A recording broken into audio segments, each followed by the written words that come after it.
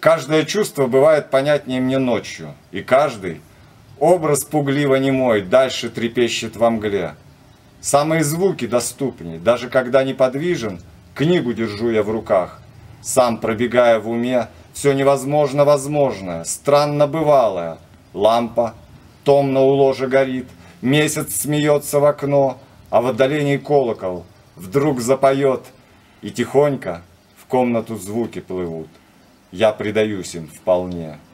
Сердце в них находило всегда какую-то влагу, точно как будто росой ночи омыты они. Звук все тот же поет, но с каждым порывом ночи то в нем меди тугой более, то серебра. Странно, что ухо в ту пору, как будто не слушая, слышит. В мыслях иное совсем. Думы, волна за волной.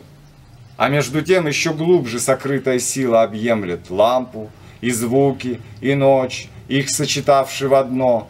Так между влажно-махровых цветов снотворного маку полночь роняет порой тайные сны наяву.